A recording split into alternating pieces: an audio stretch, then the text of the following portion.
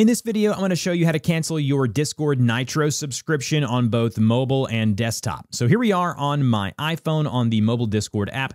There's no way to currently do it within the app. So what you're going to want to do is open up your web browser of choice. And for me, that is Safari, but it'll work in any browser. Go ahead and go to the URL there and type in discord.com slash login. When you do so, go ahead and go to that URL. It'll prompt you to enter your login credentials and it'll ask you to confirm with a two-factor authentication like a code to your phone, and then go ahead and log into your Discord account.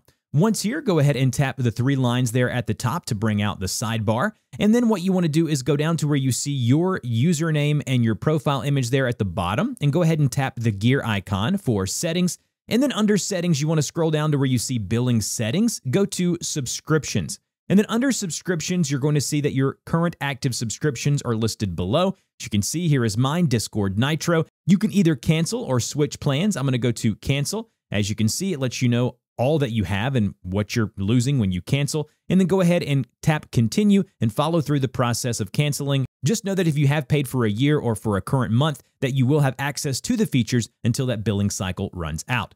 In order to do this on the desktop, open up Discord and log in like I've done here. And then once you're on the Discord app, you want to go to the gear icon here that says user settings next to your username and profile image. Go ahead and go to user settings. Once here, you want to go to billing settings and go to subscriptions. Under subscriptions, you'll see your current active Nitro subscription here towards the top.